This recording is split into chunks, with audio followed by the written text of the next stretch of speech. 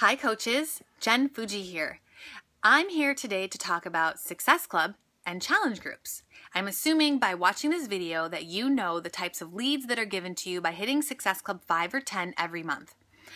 So, you're hitting Success Club, you're running challenge groups. Now what? What's next? How can you maximize those leads? How can you maximize your challenge groups? I have cheat sheets to my right, so I'm going to look down.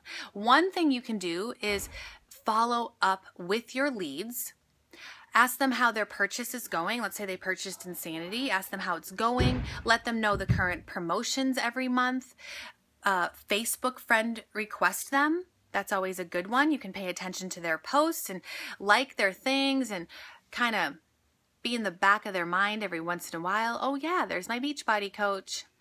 So you're running challenge groups. Now what?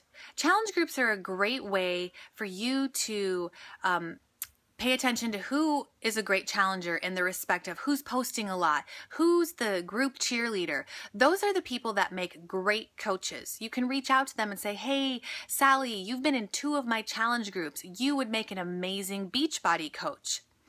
My team runs a sneak peek the third Monday of every month. I'd like to put you into the sneak peek. Can I do that? Team Play Hard, Team Inspired Fitness, all of the teams, we run a sneak peek. This is a seven day opportunity for you to put your challengers in or your customers, your leads, and show them what Beachbody coaching is all about.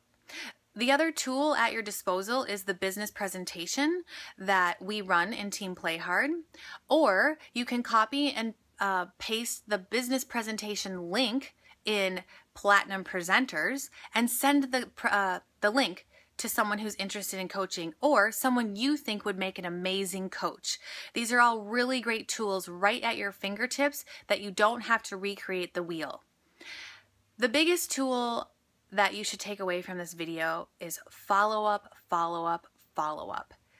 Once you get a customer, it's not over. Now, how do you maximize that customer? How do you make that customer a lifer and eventually turn them into one of your amazing coaches?